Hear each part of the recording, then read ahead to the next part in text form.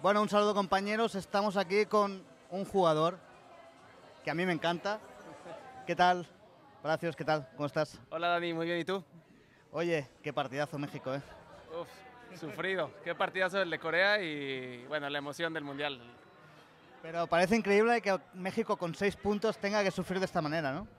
Sí, eh, increíble. Así es el Mundial. Eh, Corea con cero puntos podía pasar todavía, México con seis podía quedar fuera. son las cosas que tiene el fútbol y un Mundial. Oye, lo comentábamos, ¿no? Parece que el partido frente a Alemania, ese 1 a 0, eh, prácticamente son seis puntos, ¿no? Sí, pero como lo dijo Guardado, no te dan más puntos por, por ganar la Alemania y yo creo que el, el, cuerpo técnico y el grupo de jugadores sabían que nada estaba hecho. Bueno, ¿a quién prefieres para octavos? A Suiza. Sí. Ya, bueno, Brasil nos haría mal, siempre le ganamos a Brasil, así que cualquiera. Pero bueno, ya ahora viene todo lo difícil, ¿no?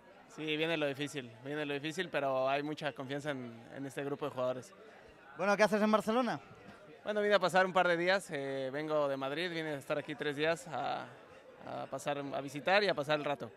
Bueno, y me ha dicho que has fichado por un equipo de Segunda B, ¿no? En España. Así es, eh, este año jugaré en, en, Madrid, en Segunda B y ojalá que todo salga muy bien. Bueno, ¿y cómo se han dado las cosas?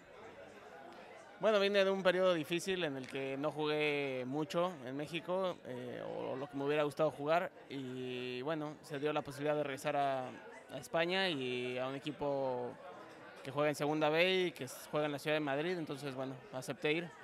Me parece increíble, la Segunda B se va a transformar el año que viene en, parece una liga mexicana, no más que española. Sí, estaba el Toledo con algunos mexicanos y ahora con el ascenso del Salamanca va a haber, va a haber varios, sí, en efecto.